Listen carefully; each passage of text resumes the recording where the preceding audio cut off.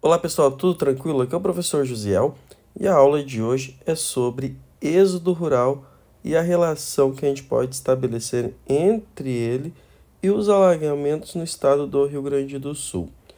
Primeira coisa, definir êxodo rural. Êxodo rural é a saída de pessoas da área rural, o campo, para a área urbana, a cidade. Isso ocorre principalmente pela mecanização do campo, que reduz a oferta de emprego, bem como a concentração de terra. Às vezes, uma pequena família não consegue ter recursos suficientes para administrar a sua propriedade rural, acaba vendendo essa propriedade e acaba então indo viver no espaço urbano de algum município do Rio Grande do Sul, ou de Santa Catarina, ou do Paraná, ou até mesmo em outros lugares do Brasil. Quando a gente pensa no êxodo rural, a gente tem que voltar um pouco no tempo. A gente tem que lembrar de cidades de origens alemãs ou até mesmo cidades de origem italiana. Por quê? Quando a gente pensa nos alemães, a gente pensa num grupo de pessoas que trouxeram com eles conhecimento industrial, o que favoreceu e muito o surgimento e o crescimento da indústria coureiro-calçadista, principalmente na região do Vale dos Sinos, pegando principalmente o município de Novo Hamburgo, se estendendo por locais como Estância Velha, Campo Bom, Sapiranga e indo lá para Paranhana, Igrejinha, Três Coroas, onde o calçado é muito forte ainda nos dias de hoje. Quando eu penso nos italianos, a gente vai principalmente para a região de Caxias do Sul, porque o conhecimento dos italianos, que conhecimento é esse? Quando os italianos vêm ao Brasil, eles vêm para trabalhar principalmente no espaço rural, no campo. Só que muitos destes já trabalhavam lá nas indústrias da Europa, trouxeram seu conhecimento e contribuíram então para que locais como Caxias do Sul sejam então importantes polos industriais aqui no estado gaúcho, principalmente no setor metal mecânico.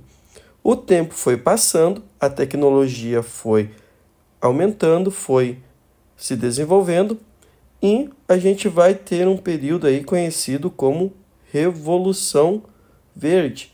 A gente vai ter uma revolução nas máquinas, na produção de alimentos, de uma forma mais mecanizada.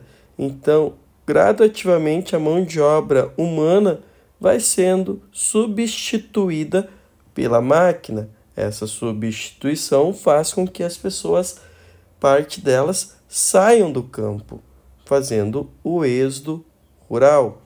Atualmente existem grupos de pessoas que fazem o êxodo urbano, saem da cidade e vão viver no campo, ou porque se qualificaram, fizeram uma faculdade e foram trabalhar no campo, ou outras pessoas foram procurar a calmaria. O que, que a gente tem que notar? Esse êxodo rural ele ocorre principalmente nos municípios com uma população menor. Eles vão necessariamente para a região metropolitana de Porto Alegre? Não, mas boa parte vai.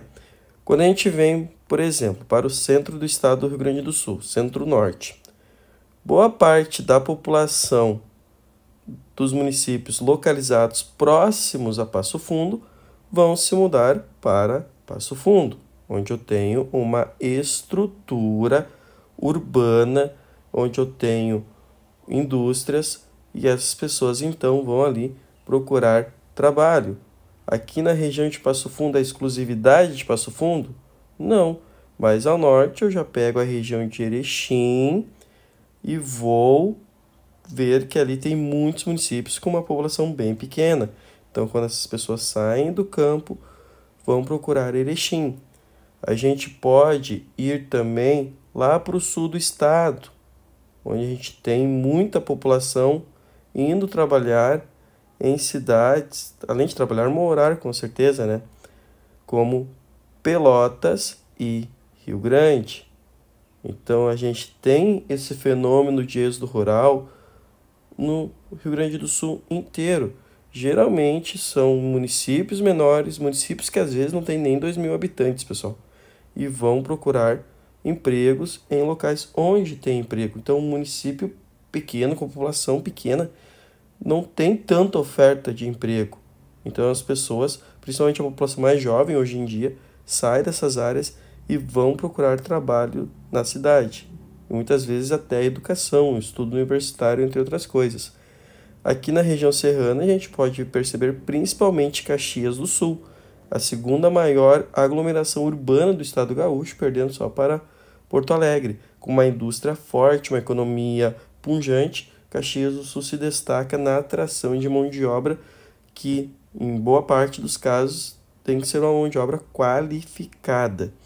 Por fim, a gente vai para a região metropolitana de Porto Alegre e encontra cidades, municípios como Canoas, com muita indústria, Esteio, Sapucaia, São Leopoldo, Novo Hamburgo, Campo Bom, Sapiranga. A gente vai ter aí muitas indústrias que precisam de mão de obra em trabalhos que às vezes não exige tanta qualificação, como é o caso do calçado.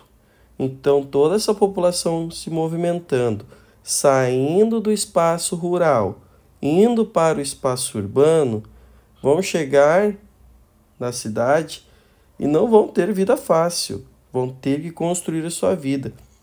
E, consequentemente, eles não têm tantos recursos financeiros assim. E morar no espaço urbano é caro. Então, boa parte dessa população vai morar em áreas com pouca infraestrutura e vão contribuir para o que a gente chama de inchaço urbano. Ou seja, muitas pessoas num pequeno espaço de terra. E as pessoas então vão procurar suas moradias, vão tentar construir a sua vida. E boa parte dessas moradias que serão construídas estão aonde? Perto das indústrias e perto dos rios.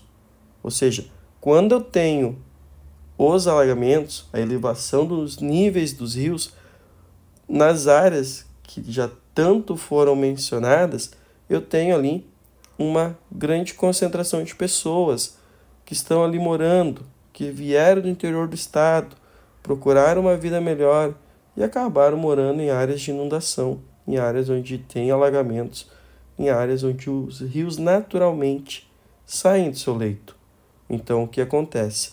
O êxodo rural é a saída do ser humano do campo para a cidade, causando então o inchaço urbano. Essas cidades começam a crescer descontroladamente, ocupando áreas de várzeas de rios, onde eu tenho ali as planícies de inundação, quando vem a chuva, quando vem a elevação do rio, quando o rio sai do seu leito e vai para as suas planícies de inundação, acaba encontrando então bairros muito aglomerados, muito habitados, uma densidade demográfica muito grande.